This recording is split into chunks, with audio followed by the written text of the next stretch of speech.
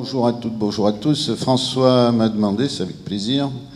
qu'en tant que Marseillais, ex-étudiant euh, il y a bien longtemps à l'université d'Aix-en-Provence, je reviens à Toulon pour parler donc d'une initiative particulière que nous avons été amenés à prendre en Savoie et dans laquelle vous allez retrouver euh, l'émergence de nos discussions aujourd'hui euh, de la problématique de l'intercommunalité. Alors présenter euh, d'abord ce qui est pour les non-initiés, les directions de la sécurité intérieure et de la protection civile de la Savoie. Voilà. Donc en fait, c'est la préfiguration de ce que le ministre de l'Intérieur a décidé l'année dernière, de constituer dans chaque préfecture une direction de la sécurité, euh, prenant en compte euh, l'actualité des problématiques de sécurité que vous connaissez toutes, c'est-à-dire que les enjeux de sécurité sont multiformes, les crises sont multiformes, et qu'il est de bonne euh, administration que les préfets qui en sont les responsables au niveau départemental disposent d'un état-major complet euh, regroupé dans une seule direction, ce qui n'était pas le cas jusqu'à présent, qui s'appelle la direction de la sécurité, qui a donc les trois vocables, un service de la sécurité routière, un service de la sécurité civile et un service de la sécurité publique, avec l'émergence de la notion de sécurité intérieure liée euh, aux problématiques de terrorisme qui sont prégnantes, comme vous le savez, aujourd'hui. Alors, on ne va pas parler du tout de sécurité publique, on va parler de, des conditions dans lesquelles nous avons été amenés à initier, euh, sur le plan opérationnel et juridique, euh, une expérience en termes de coopération intercommunale en lien étroit avec l'autorité préfectorale. Alors je vais vous parler de neige, hein, bien sûr, parce que la Savoie, c'est d'abord la neige. la neige, c'est ses plaisirs, pour ceux qui pratiquent le ski, la randonnée, mais la neige, c'est l'un des aléas fondamentaux de la vie de notre département. Euh, vous le suivez dans l'actualité, les avalanches. On a eu un lourd tribut euh, cet hiver, puisque après une décrue euh, de, de, la neige pendant les années 2000, on a retrouvé un bel hiver, mais malheureusement, à la clé, de l'hiver, il y a ces risques, il y a cette avalanche qui euh, euh, nous fait payer un lourd tribut. Mais la neige, c'est aussi la confrontation entre ceux qui viennent en tant que touristes, pour la plupart en véhicule, vers notre département, et qui se seront confrontés ce jour-là à des chutes de neige, sans que ce soit des chutes de neige catastrophiques. Ils rencontrent cet aléa et cette difficulté. Et de manière récurrentes, comme nos collègues de Haute-Savoie d'ailleurs, qui sont des clients euh, habituels de ce genre de scénario, de manière récurrente depuis de nombreuses années. Nous pratiquons le déclenchement des plans hors sec hébergement d'urgence pour faire face, euh, pour faire face à une thrombose liée à la confrontation entre l'usager euh, qui n'est pas très habitué à ces conditions hivernales et la neige et qui, compte tenu des problématiques de gestion de la circulation hivernale,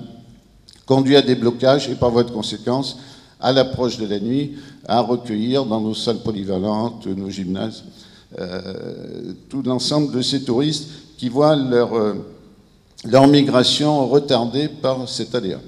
Donc au fil des années, on en fait à peu près un tous les huit ans, on déclenchait ce plan hors sec avalanche, euh, plan hors sec hébergement d'urgence.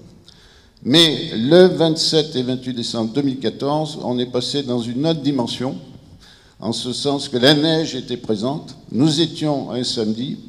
et bon, on progresse encore à cette matière, on pourra en parler.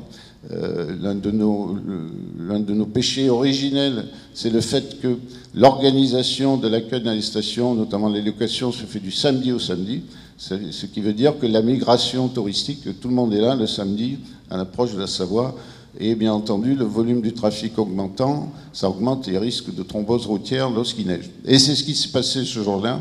Et ce jour-là, on a perdu la main par rapport à nos pratiques habituelles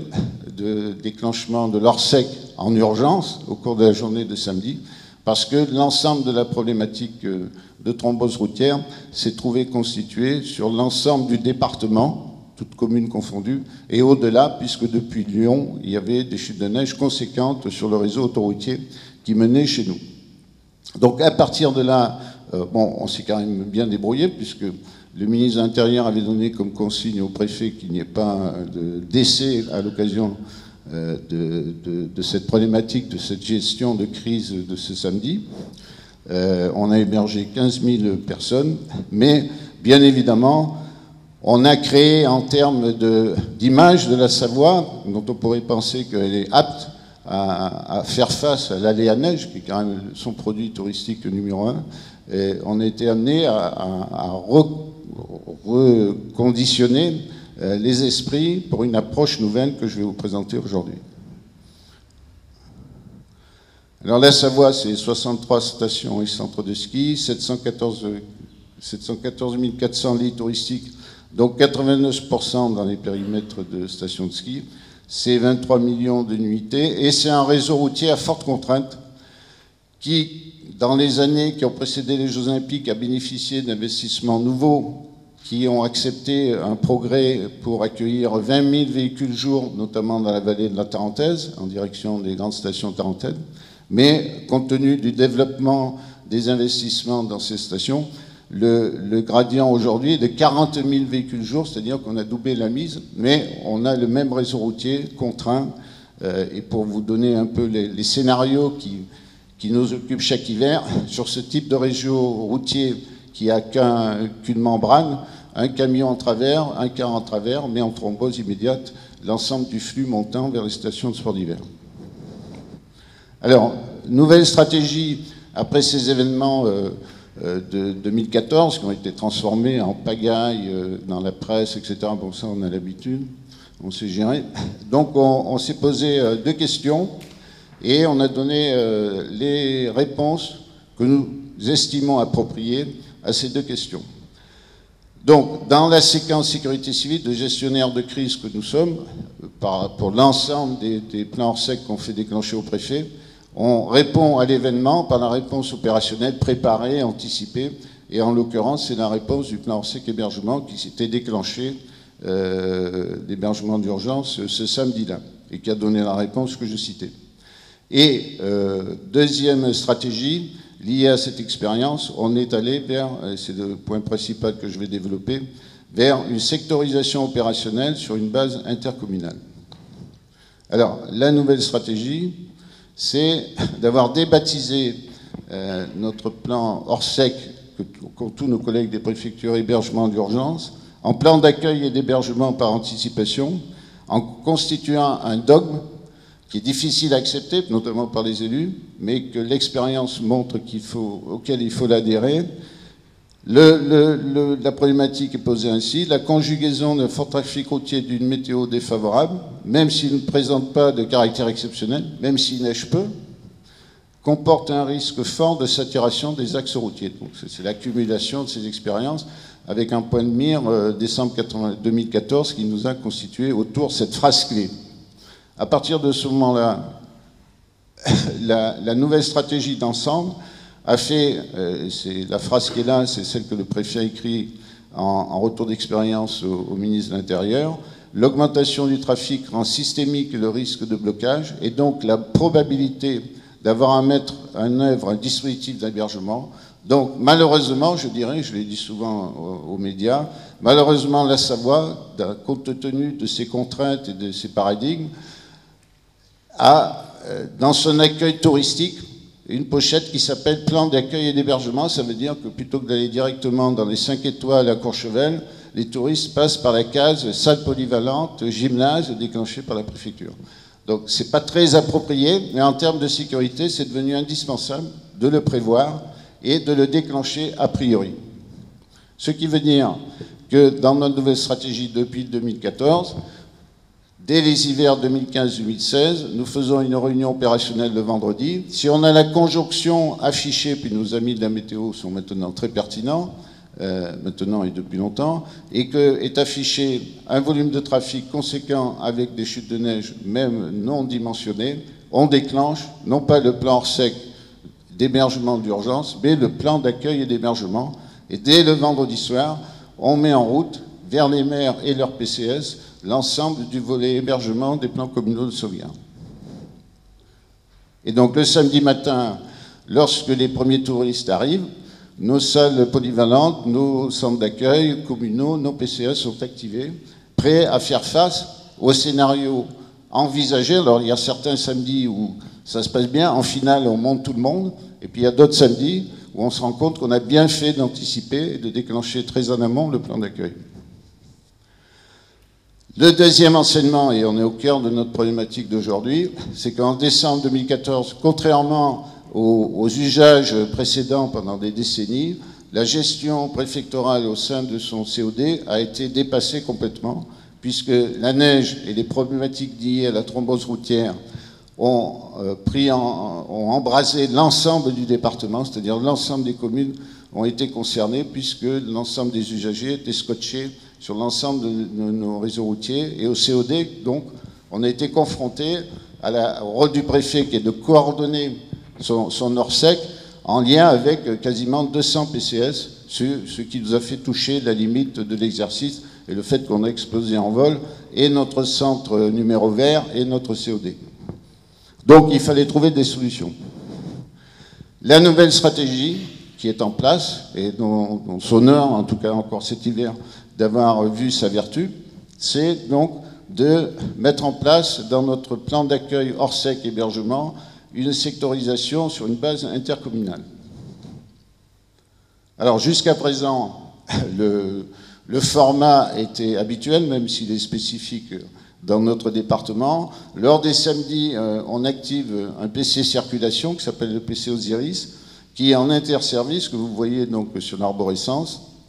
est amené à gérer l'ensemble de la problématique circulation, y compris ferroviaire, euh, avec tous les acteurs de, cette migration touristique. Et lorsque on déclenchait le plan hors sec hébergement, on activait le COD dans une configuration euh, classique euh, en préfecture, dans la salle opérationnelle, pour gérer les activités d'hébergement. Et c'est là, en 2014, qu'au cœur de ces COD, on a explosé en vol compte tenu des paramètres que je soulignais tout à l'heure. Alors, le cadre juridique était devant nous euh, pour euh, asseoir notre, notre d'expérience. Eh ben, nous l'avons décliné toute la matinée ce matin. Donc, d'un côté, il y a le préfet, plusieurs communes préfets, et d'autre côté, il y a le maire avec son plan communal de sauvegarde. Donc, nous avons dialogué euh, âprement, ardemment, et, je dois souligner d'ailleurs le,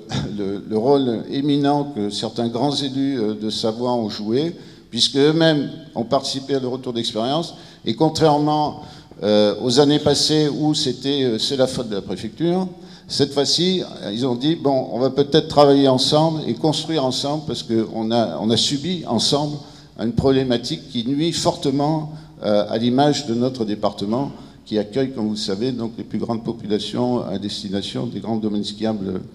du monde en la matière. Et donc, la démarche que j'ai conduite, avec le préfet, c'est d'aller, compte tenu que le chantier avait une vocation départementale en 2014, de sectoriser la réponse opérationnelle. Et donc on est allé auprès d'un certain nombre de maires de communes clés dans notre réseau routier pour leur proposer tout à la fois ce qu'ils savaient faire d'ores et déjà, d'activer leur plan communal de sauvegarde pour leur territoire, mais de devenir maire PC de secteur pour coordonner à l'échelle de ce bassin euh, routier et d'accès aux stations les opérations d'hébergement. Donc, ils ont tous accepté, plus ou moins euh, tirés par la manche, mais compte tenu du retentissement qu'a eu euh, le, négatif au plan économique et touristique des événements de décembre 2014, ils ont convenu qu'il fallait tourner la page et aller vers quelque chose de plus construit et de plus efficace. Et donc, on a désigné, on va aller voir, un certain nombre de maires, donc le préfet a désigné un certain nombre de maires, pour leur dire, conformément à la loi sécurité civile, je vous laisse activer votre plan communal de sauvegarde où vous allez accueillir dans votre propre commune des sites, mais vous allez me construire avec moi un PC de secteur pour coordonner, coordonner avec vos collègues maires de ce secteur les opérations d'hébergement de tous ces touristes qui sont égrenés sur nos axes routiers. Et donc, à partir de ce moment-là, les maires ainsi euh, labellisés, ils sont 11, on va voir la carte correspondante, ont pris en charge un PC de secteur dont on va décliner le fonctionnement. Donc la mission de ce PC de secteur, sous l'autorité d'un maire, donc le pouvoir de police, avait une vocation de coordination opérationnelle en lien étroit avec le préfet et d'organiser l'hébergement de la population, hein, les, touristes dans la voiture, sur son bassin géographique avec les communes associées sous la responsabilité de la préfecture et euh, avec les capacités d'hébergement de chacun qui sont bien évidemment connues. Alors voilà nos, secteurs. Bon, au début, j'en avais prévu 10, mais bon, il y en a un qui a voulu en être pour des raisons politiques euh, liées à, l'émergence de la loi NOTRe, de la manière dont l'intercommunalité. Donc j'ai 11 secteurs, rapidement. Donc la vallée de la Maurienne, où il y a trois secteurs opérationnels, le PC de secteur sous l'autorité du maire de Saint-Jean-de-Maurienne, celui de Saint-Michel-de-Maurienne sous l'autorité du maire de Saint-Michel, celui de Modane, Antantès, Moutier, Bourg-Saint-Maurice, Albertville et à l'approche du département, Saint-Genis-sur-Guiers, euh, Chambéry, Montmélian, etc. Et donc, on a, euh, les trois derniers hivers, activé parfaitement cette sectorisation pour donc amener à décentraliser la réponse opérationnelle qui ne reposait plus exclusivement sur le COD, mais par une interface efficace de coordination à l'échelle de nos PC de secteur. Voilà le, schéma un peu général. Donc là, il y a une petite erreur, en ce sens que dans notre déclinaison, ce poste de commandement de PC de secteur, dans l'évolution attendue qu'on va proposer au ministère de l'Intérieur, s'appellera poste de commandement intercommunal. Voilà. Donc pour l'instant, j'ai respecté la loi, hein, parce que je suis fonctionnaire d'État, mais demain, et je vais finir là-dessus, il s'appellera poste de commandement intercommunal. Et donc il y aura un maire à sa tête, le maire de la ville du secteur, et il est associé et le préfet a mis à sa disposition autour de lui un certain nombre d'acteurs des services publics classiques,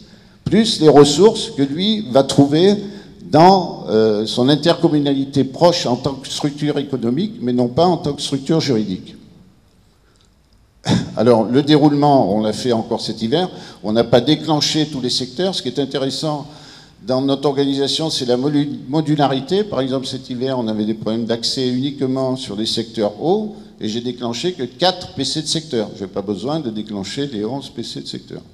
Donc, la, mécanique conduit le maire PC de secteur à avoir retrouvé autour de lui régulièrement les représentants de la gendarmerie, des pompiers et le conseil départemental, et d'être notre seul interlocuteur au COD, ainsi qu'au PC Osiris pour les enjeux de circulation.